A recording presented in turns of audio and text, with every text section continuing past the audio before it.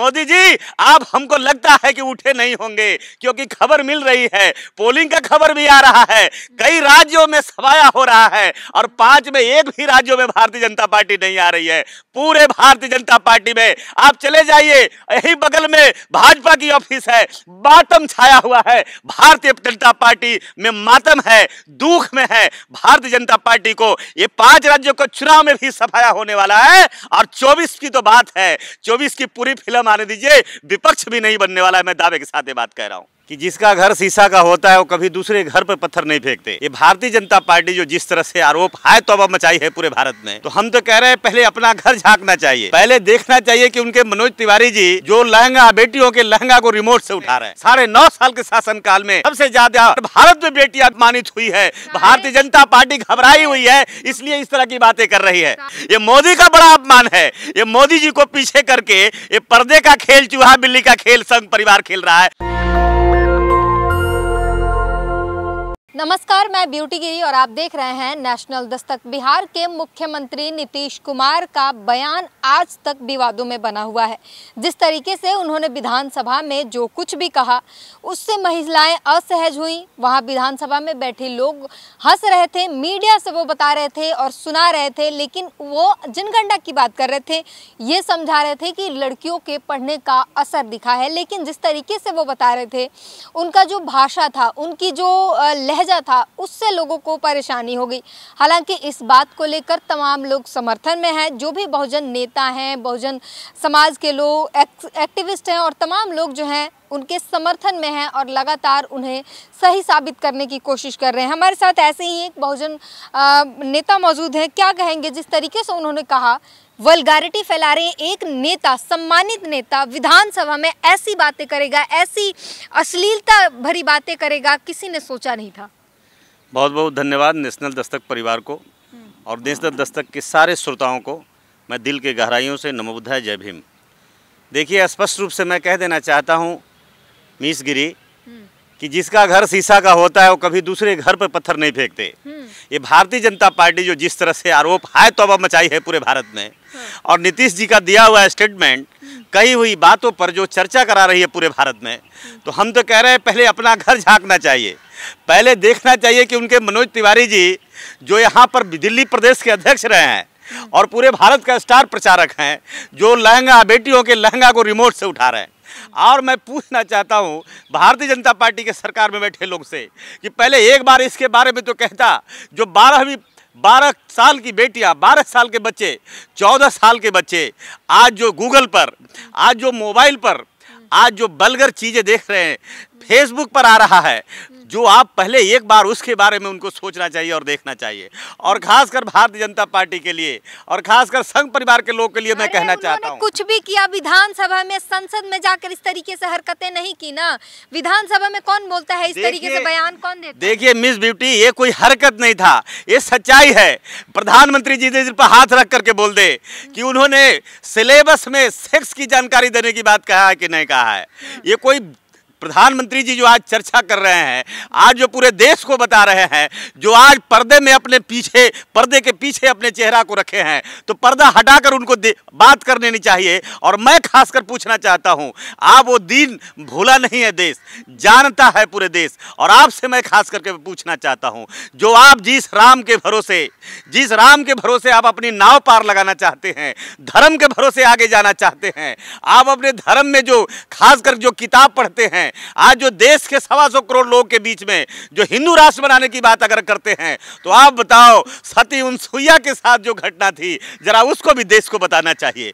क्या सती उनसुईया के लिए आपके ऋषि मुनियों ने जो नंगा नंगा उनको बुला करके कपड़ा उतार करके खाना खाने का प्रस्ताव रखा क्या देश उसको बताएगा कि नहीं बताएगा? बताओ सी, माँ सीता को सीता जैसी महिला को जो चरित्रहीन क्या कहा और अग्नि परीक्षा लेने की बात कही गई क्या उसको इसको देश को बताओगे कि नहीं बताओगे प्रधानमंत्री जी? बताओ इंद्र ने जो गौतम ऋषि की पत्नी को जो आज ही रात झूठी कहानियाँ है झूठी बताओगे कि नहीं बताओगे? अगर वो झूठ करने की साजिश अगर झूठी कहानियाँ है तो क्या गूगल पर जो आता है क्या वो झूठ है?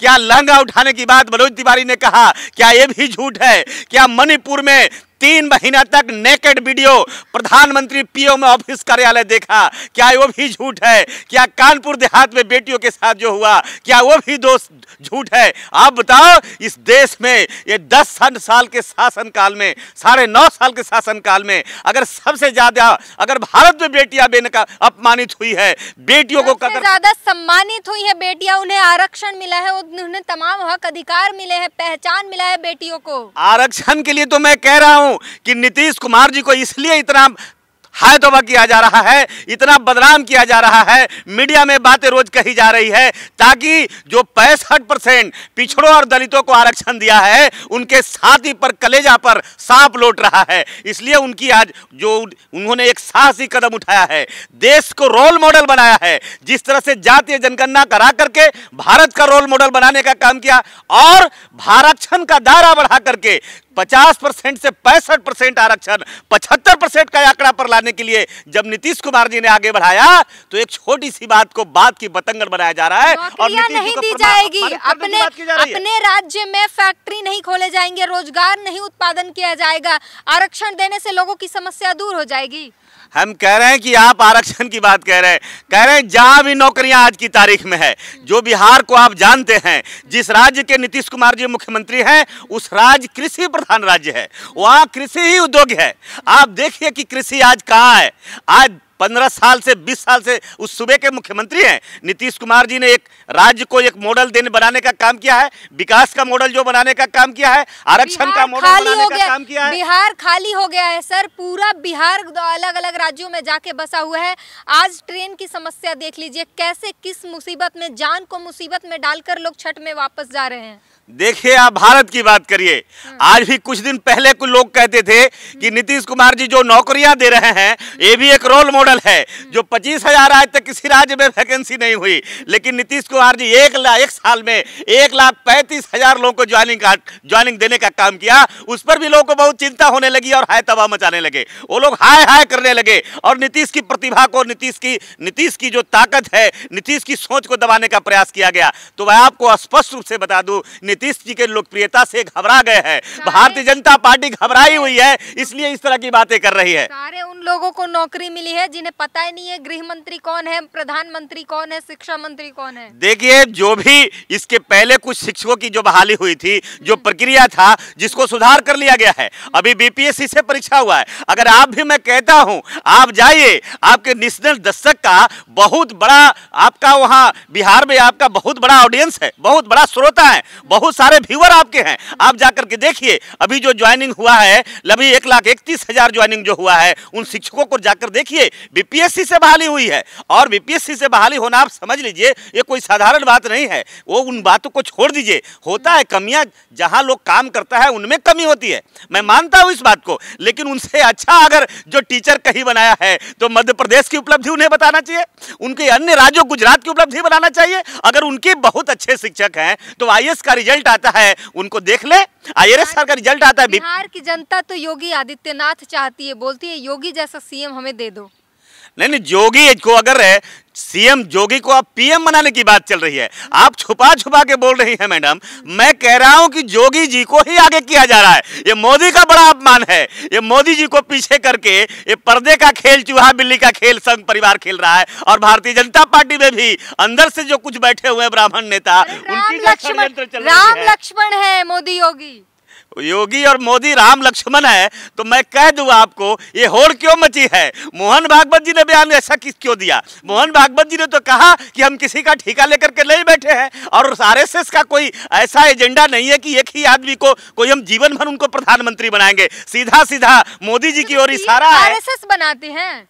देखिए, आपको ये पर्दे के आगे, पर्दे के आगे में जो है, नरेंद्र मोदी का भले प्रधानमंत्री का चेहरा है, लेकिन एक कदम नहीं बढ़ सकते भारत के प्रधानमंत्री जी। जब तक उनका इशारा जब तक रिमोट पीछे से नहीं दबता है आरएसएस का, जब तक रिमोट नहीं देता, तब तक पर्दा नहीं उठता है। जब पर्दा उठता है, तब प्रधानमंत्री का चेहरा आता है। इसलिए पर्दे के पीछे आरएसएस है, आरएसएस इस देश को चला रहा है, जो इस देश को बांटना चाहता है, जो इस देश में नफरत का माहौल बनाना चाहता है, जो इस देश को हिंदू राष्ट्र बनाना चाहता है जो इस, इस देश को क्या है हिंदू राष्ट्र हटाना में? चाहता है। दिक्कत क्या है हिंदू राष्ट्र में? अच्छी बात है सब यहाँ पर सबके घर में ताले नहीं होंगे इतना संपन्न राष्ट्र होगा अच्छी नीतियाँ होंगी सब लोग खुशी संपन्न रहेंगे। नहीं नहीं हम तो देखे हैं हम देखे भी हैं या देख रहे हैं और हमारे आपके पुरखे भी देखे होंगे कि जब राम राज था तो राम राज में तो हमने शंभुक का वध देखा है।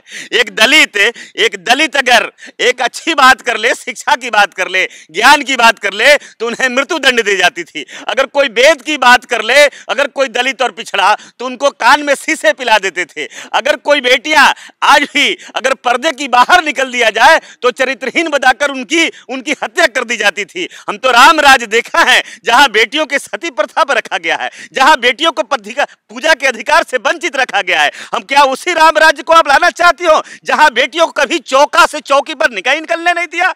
आप उसी राम राज की बात करना चाहती हो जहाँ बेटियाँ देवदासी प्रथा की शिकार हुई है क्या वही उस व्यवस्था को राम राज लाना चाहते हैं? आप आज एक तरफ़ बड़ा दर्द होता है कि नीतीश जी ने जो बोल दिया वो महिलाओं की बड़ा अपमान हो गया। तो मैं कहना चाहता हूँ सती अनुसुईया के साथ जो हुआ क्या वो अपमान नहीं है? क्या गौतम ऋषि के साथ हुआ क्या वो अपमान नहीं है? क्या सीता के साथ जो हुआ क्या वो अपमान नहीं है? बीजेपी से सीखना चाहिए कितनी सभ्य पार्टी महिलाओं को सम्मान देने वाली पार्टी है।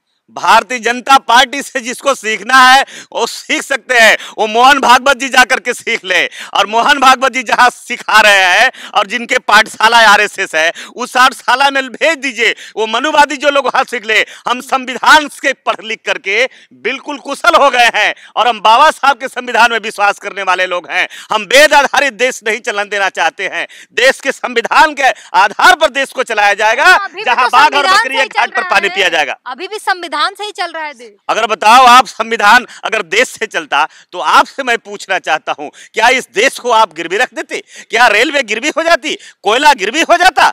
आप बोलते सारे एम टी एन एल गिरवी रख देते, या आप बी एस एन एल बेच देते, या बंदरगाह को बेच देते, या आप सारे रेलवे को बेच देते?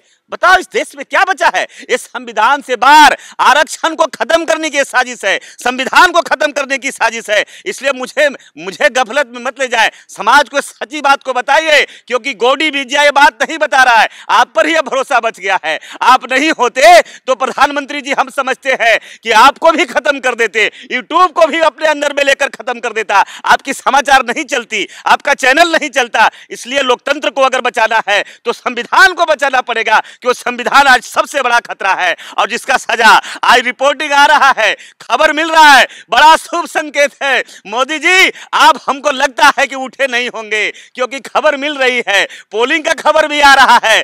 कई राज्यों में सवाया हो रहा है और पाँच में एक भी राज्यों में भारतीय जनता पार्टी नहीं आ रही है। पूरे भारतीय जनता पार्टी में, आप चले जाइए, यही बगल में भाजपा की ऑफ़िस है मातम छाया हुआ है। भारतीय जनता पार्टी में मातम है, दुख में है। भारतीय जनता पार्टी को ये पाँच राज्यों को चुनाव में भी सफाया होने वाला है और 24 की तो बात है। 24 की पूरी फ़िल्म आने दीजिए, विपक्ष भी नहीं बनने वाला है, मैं दावे के साथ ये बात कह रहा हूँ। तो चलिए, आपने सुना किस तरीके से जो है इन्होंने पूरी गणित बताई। जनगणना की बात की थी, नीतीश कुमार ने उसको दबाकर उनकी जो बयानबाजी थी उसे उछाल दिया गया और उसका जोरों शोरों से पूरे भारत में विरोध किया गया। बीजेपी ने बढ़ चढ़कर इसका विरोध किया और इसे माना जा रहा है कि शायद उनकी जनगणना की जो बात की थी उसे दबाने के लिए ये जानबूझकर उछाला गया मुद्दा है। पूरी बातचीत पर अपनी प्रतिक्रिया ज़रूर दीजिए। कैमरामैन आशीष के साथ Beauty Giri, National Dastak. National Dastak की आपसे गुजारिश है कि अगर इसको बचाना चाहते हैं तो नेशनल दस्तक को सब्सक्राइब करने के लिए रेड कलर के सब्सक्राइब बटन को दबाएँ, फिर बेल आइकन की घंटी दबाएँ। नेशनल दस्तक को बचाने के लिए बहुत ज़रूरी है कि हर खबर को शेयर करें, लाइक करें, कमेंट ज़रूर करें।